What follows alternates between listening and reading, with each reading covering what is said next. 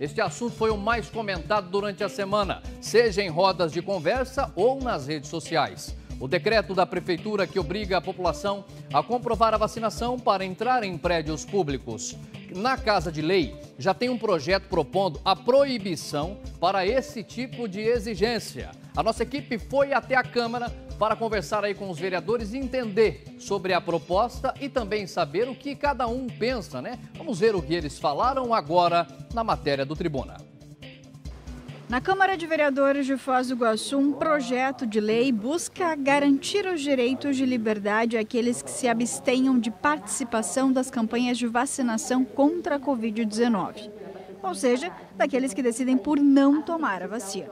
Para isso, o projeto diz: fica proibido em todo o território do município de Foz do Iguaçu a adoção do passaporte sanitário, de passe de vacinação ou medida semelhante que pretenda ou tenha como efeito cercear ou restringir às pessoas não vacinadas o direito à vida, à liberdade, à livre locomoção. Com isso, o projeto busca garantir algumas medidas, como quem não se vacinou contra a Covid-19 não poderá ser impedido de frequentar espaços públicos ou privados, assim como participar de provas, concursos ou seleções. Nossa equipe foi até a Câmara de Vereadores para saber o que os eleitos pela população pensam sobre o projeto. Dos 15 vereadores, 13 estavam presentes na sessão. Os vereadores Calito e Jairo estavam representando a Casa de Leis, participando de um evento do Conselho dos Municípios Lindeiros. Eles conversaram com a nossa equipe por telefone. Dos 15 vereadores, apenas Edivaldo Alcântara, do PTB, não quis falar com a nossa equipe sobre o assunto. Então, o senhor não quer falar sobre o projeto de lei da, do, do comprovante de vacina? Tá. Obrigada. O vereador Calito, do PSD, que propôs o projeto, explicou o que o motivou a tomar a decisão. Eu escutei uma, uma um, um, nicho né, de, de pessoas que me trouxeram alguns argumentos é, eu escutei esses argumentos, achei, entendi que esses argumentos eram plausíveis e a partir dessa conversa, o meu combinado com esse, com esse grupo de pessoas que me trouxe a minuta do projeto, na verdade a ideia, né? A minha, o meu combinado com eles foi o seguinte, que eu entregaria na, na Câmara para que o jurídico da Câmara pudesse entender ah, com relação à legalidade, daí sim a gente é, botar esse projeto para frente ou não, conforme for o parecer jurídico. Cinco vereadores são a favor do projeto e não concordam com a exigência de um passaporte sanitário. As pessoas têm o direito de ir e vir e fazer aquilo que elas bem entendem dentro da, lei. E nós não temos uma lei federal que obriga isso. Então não cabe ao município, na minha opinião, impor isso à nossa sociedade. Então eu sou a favor do projeto de lei e sou contra qualquer coisa que venha restringir o nosso povo de ir e vir e desenvolver suas atividades que a lei os garante. O projeto é um projeto bom, projeto que vem, que não obriga as pessoas, que não obriga os estabelecimentos comerciais a exigir, é, a exigir né? Sou contra o passaporte, né, em favor da liberdade do povo. Vamos cuidar do passaporte de viagem, passaporte de, de vacina, aí vamos esquecer isso aí, esquecer, esperamos que termine logo isso aí,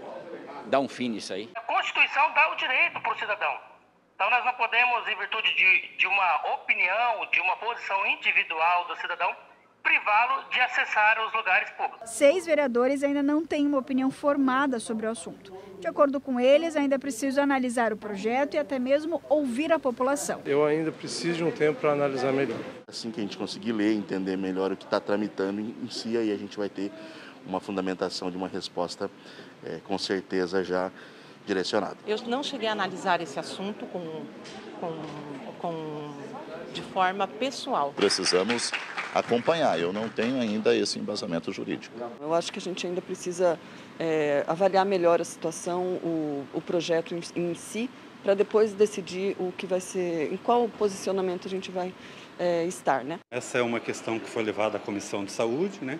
e a Comissão de Saúde propôs uma audiência pública para ouvir a população. Então, só a partir do momento dessa audiência pública, ouvindo a população, que a gente vai se posicionar. Para um vereador, existem ressalvas na necessidade da exigência do comprovante de vacinação contra a Covid. Sou mais favorável a algumas restrições, dependendo do tipo da atividade, mais ou menos.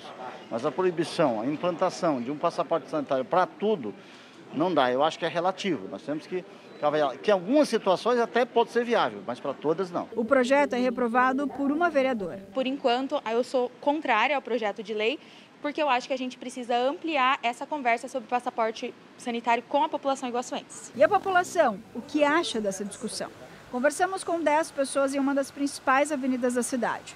Duas não souberam opinar sobre o assunto. Não digo sim nem não. Uma entrevistada também fez ressalvas sobre onde será solicitado o passaporte. Olha, tudo depende do lugar. Eu acho que depende o lugar que você for, é necessário sim. Aglomeração, onde vai muita gente, eu acho que é muito importante sim. Uma é contra a necessidade do comprovante. Não, não precisa. Imagina.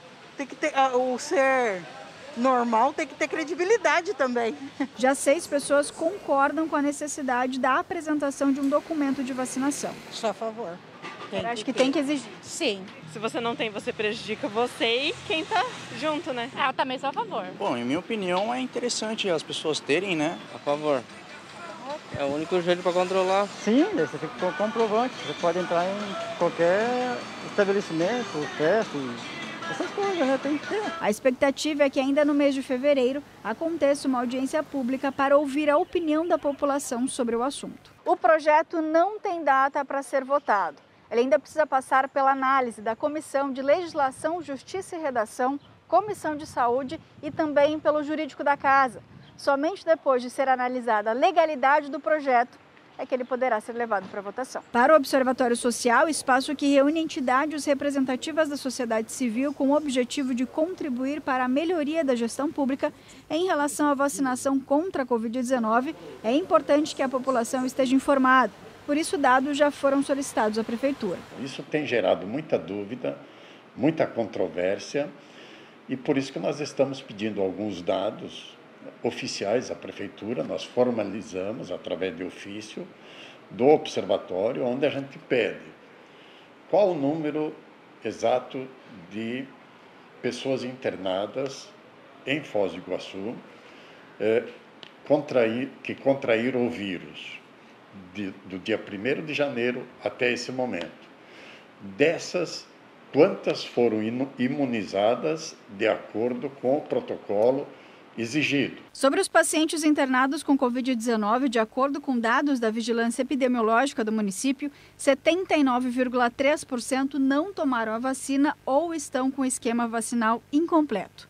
Como forma de prevenção à Covid-19 e incentivo à imunização, mesmo o projeto de lei ainda não tendo sido analisado, a Prefeitura de Foz do Iguaçu já está exigindo comprovante de vacinação nos eventos, assim como nos serviços públicos, como prédios públicos e administração municipal.